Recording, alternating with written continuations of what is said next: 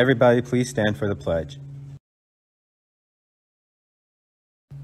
I pledge allegiance to the flag of the United States of America and to the republic for which it stands, one nation, under God, indivisible, with liberty and justice for all.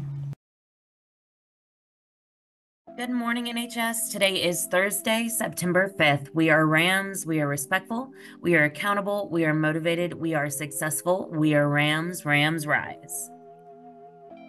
Today, you are going to your even period classes. Please be on time to all classes every day. Lunch is with seventh period today.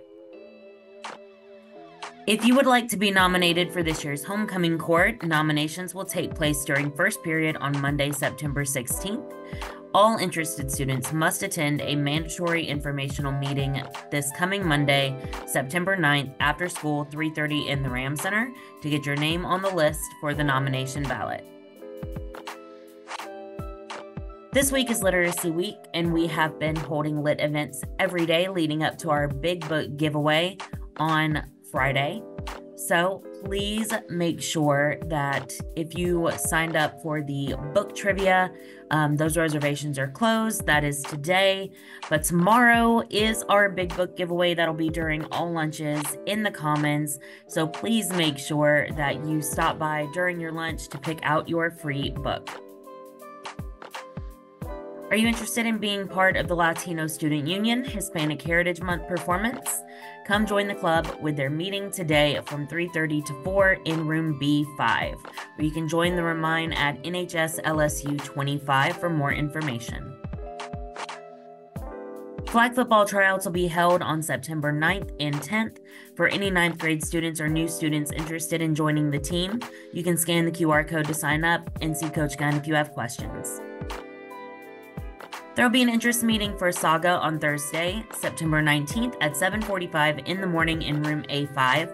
This is a safe space organization which welcomes all walks of life to hold friendly and respectful discussions surrounding gender and sexuality. See Mr. Abahari in A5 if you have questions. Are you a parent or guardian that's interested in joining our school council team? Visit the NHS website to review documents for the positions and to apply.